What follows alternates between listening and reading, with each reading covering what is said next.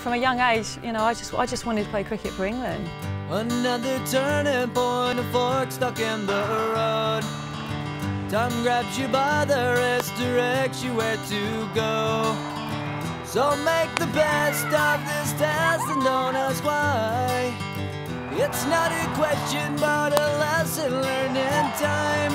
It's something unpredictable, but in the end is right. I had the time of your life. I didn't know there was a women's team existed, so I just thought, well, I'm, I, can, I can play for England men. I've played as a 16-year-old in a skirt, paying for my own blazer, to now the last two or three years, being under the scrutiny, being professional. The Ashes series that they've won, the, the World Cups that they've won, T20, 50 overs, they kind of get unnoticed, and I think Charlotte Edwards has been the pivotal figure behind that success. So take the photographs and still frames in your mind hanging on a shelf in good health and good time. Tattoos of memories and dead skin on trial.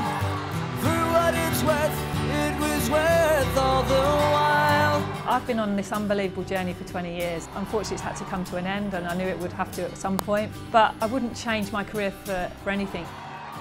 It's something unpredictable, but in the end is right. I hope you had the time of your life.